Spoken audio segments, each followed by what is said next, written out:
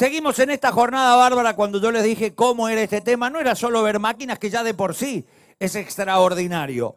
Pero con lo que acaban de escuchar, por ejemplo, de cómo funciona y cómo debe funcionar para que ustedes logren lo mayor en productividad, lo, acabamos de escuchar a Federico. Las máquinas las vamos a ver, las máquinas las vamos a ver.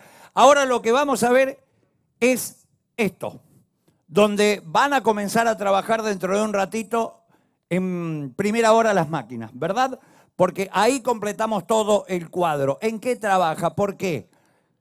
Para ello, este, invito a Gastón Áñez, por favor, si es tan amable, KWS Agroservice, eh, para hablarnos de material y manejo de alfalfa, de la KWS, por supuesto, y eh, luego ya vamos a estar directamente con las maquinarias. Hermano, bienvenido, todo tuyo.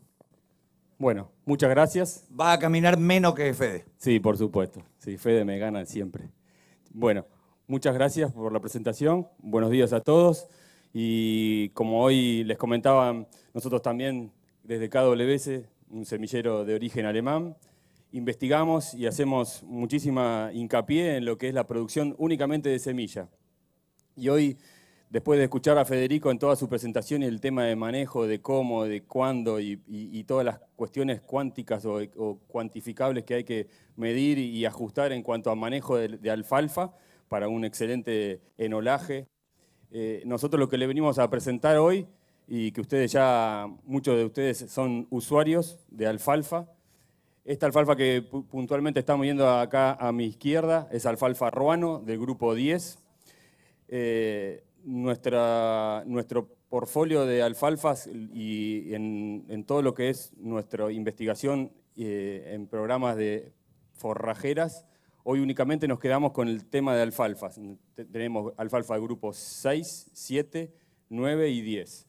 Lo que estamos viendo acá es Ruano, es una alfalfa de grupo 10, de alto potencial de rendimiento y productividad para carne y leche, exclusivamente para planteos de puros. Esta alfalfa se sembró en abril del 2017 sobre, con, sobre rastrojo de soja con 16 kilos de semilla. Esta alfalfa siempre son todas, todas las alfalfas de KWS son importadas, peleteadas, y el único tratamiento que tiene es el peleteo, y se pusieron 80 kilos de, de fósforo.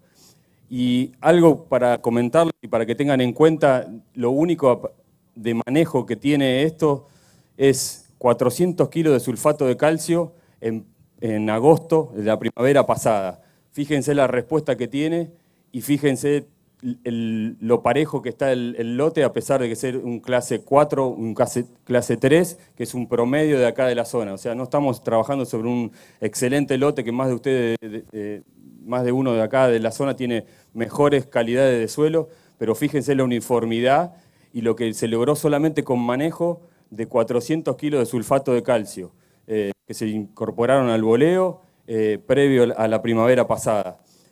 Lo mismo en el lote que está siguiente, que ya está todo cortado, es Mecha, que es un, grupo 9, como les decía, que ustedes ya muchos más están eh, inserta acá en la zona por, por su productividad y de ser de alto potencial pero fíjense la calidad que lo que tienen hoy en, alfalfa arruano, por suerte con el corte que hicimos hace un, tiempo atrás, llegamos perfectamente al, momento ideal de corte.